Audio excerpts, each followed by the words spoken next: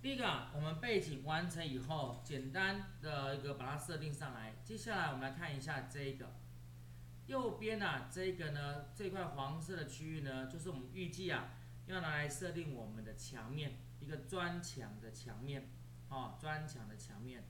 那么这时候呢，我们要怎么样呢？第一个，按照我们上次所说的，先打开。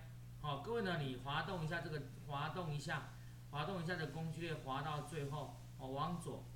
滑到不能再滑为止，然后呢，这边呢就会出现我们的这几个，现在用到的这几个，哦，这个就是让你呢，哦，render 的，然后呢再过来这个球啊，这就是我们的材质，哦，那这材质这个材质这个编辑啊，上次我们说过它的快速键就是 N，哦，取那个 material 的第第一个字 N，哦，所以你 N 按下去的话呢，它也会跑出来。好，那接下来呢，请各位注意看一下，我们到底墙面呢？要怎么样贴上我们要的材质呢？它内定啊，现在已经选到一颗了。好，我们就从这第一颗开始。那么呢，第一颗开始以后呢，紧接着就请各位下来，打开。好，你可以稍稍微的拉动一下你的画面，打开一下呢，到我们的 Map 这个面板这边来，M A P S 这个面板把它打开来。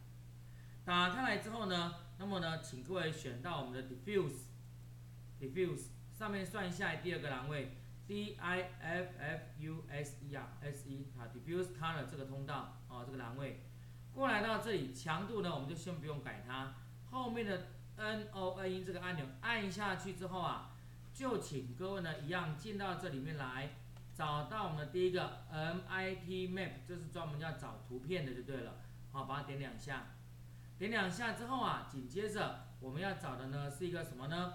好，我们要找的呢是一个哦。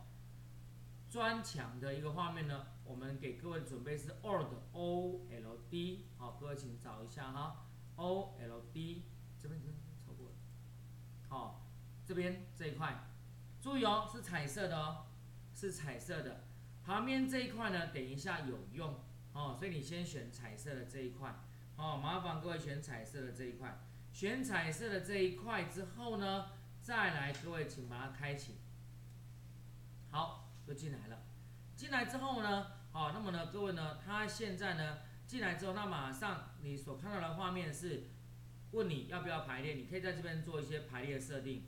这个 tiling 呢，T I L I N G 呢，就是我们所谓的什么呢？就是我们所谓的哦编排的意思。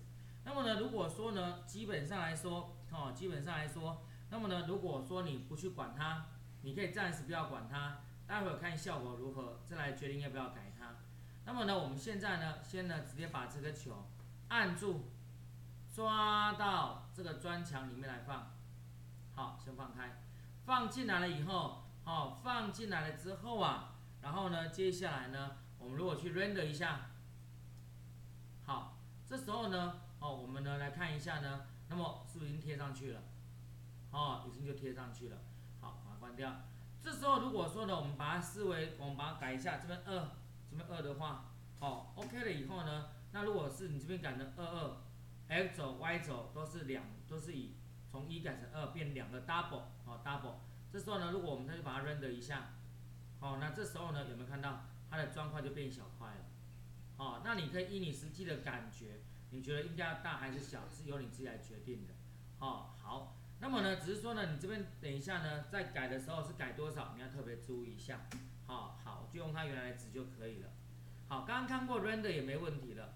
那代表这颗球现在 OK 了以后，麻烦你把这颗球，等一下呢，顺便把这颗球，把它的名称改一下，改成什么呢？改成叫做墙砖墙。哦，中文的话应该打中文没关系哈，砖墙。哦，这样的话以后呢，材质球一多，我们才知道说这颗到底用在哪边，这颗到底用在哪边。好，我现在这边等各位。好，等各位，待会我们再继续往下讲解。哈，好，来，我们把荧幕呢先交给你了。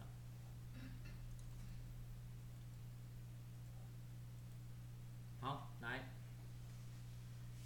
那么呢，我们快速的再做一遍给各位看。从第一步的，好，我们现在要贴上我们的砖墙的材质，先打开我们的材质球，哦，那么呢，按一下这个按钮，或是按一下快速键，按也可以。打开之后呢，选到了这一颗。好，它这个内定值是从第一颗开始嘛，哈，好，我们把那个什么呢，好，放大一点好了，好，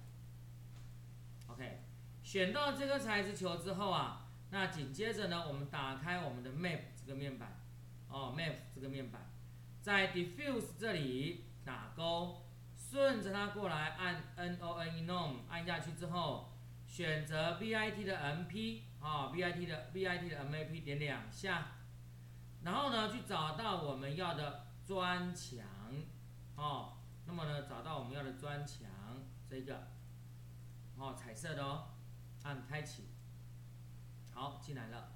进来之后啊，在这边的 tiling 这边呢，你呢，哦，它原则上内定从都是一啦哈。你可以先不要去改它，它的横的、直的排列数目先不要改它，用它原有的现有的，你把它按住，抓到我们的这个好需要的目标上面再放开，按一下这个按钮，看一下结果。如果你觉得这个砖块太怎么样？太大块了，那么你呢？预防它会变形的话呢，我们把砖块缩小一点。那你预防它变形的话，要记得 U 跟 V 数量要一样。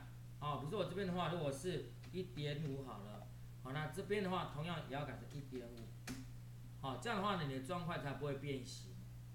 哦，好，现在呢完成到这里之后，哦，OK 了，有没有问题？这时候你可以再 render 一下，哦，马上看到我们的效果就是长这样。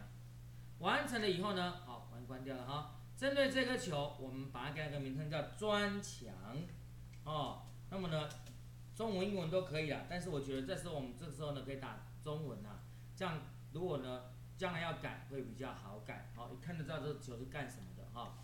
再来第二件事情，好，我们呢接下来它呢，好，现在是比较平的，好，现在呢当然就是比较平的。如果说你希望说呢，让它呢怎么样呢，更有立体感一点，更有立体感一点的话，那请各位呢，好，我们回到上一层，好，Go to Pattern，这个我们上次有提到过，回到上一层，回到上一层做什么呢？请各位把 V U M P 打勾，Vimp 打勾，打勾做什么呢？过来按一下这个 norm 好，一样 V I T M A P 点两下，把它打开来。这次啊，请你找到一模一样，可是是黑白的那一张。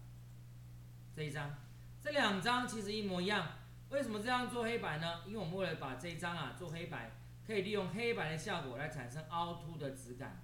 哦，凹凸的质感。好，选择这一张以后呢，按开启。那么呢，注意哦，刚刚呢我的排列呢 t i n y 的排列是一点五，这边当然也要一点五，这样才不会吸筋哦。才不会绕高频，哦，两个一定要跟呢刚刚那张彩色的排列数目是一样的。再来回到我们的上一层，做什么呢？回到我们这个什么呢？哦，OK，好，回到了我们的这个上一层以后呢，回到我们上一层以后，那么呢这个强度啊，请各位把它改成八十就好了，哦，八十，OK 了以后呢，哦，记得哦都要打勾哈，该打勾的要打勾。我们再 render 一次啊，去看一下它的立体图啊，看一下它的质感有没有感觉就比较有立体图的感觉了，哦，比较有立体的感觉。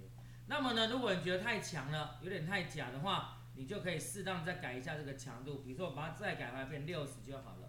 好，改完再去把它 render 一下，好，看看效果你觉得如何？